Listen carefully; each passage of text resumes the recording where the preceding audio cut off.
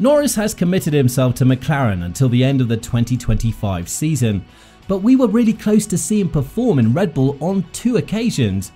Now, would have this been a good thing or not for Norris? Only God knows. However, one couldn't help but note Norris's frustration with McLaren and how he added that the team's last chance of being competitive is in 2024 and 2025, when they won't have any more excuses for losing. In 2022, McLaren finished where they did thanks to Norris, which only goes to add that he is an amazing driver.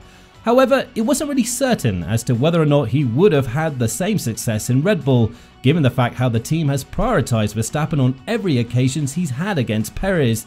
Two alpha males in one team are never a good thing, has been able to witness this from 2016 and 2007 in Mercedes and McLaren respectively. However, what would have happened if Norris joined Red Bull?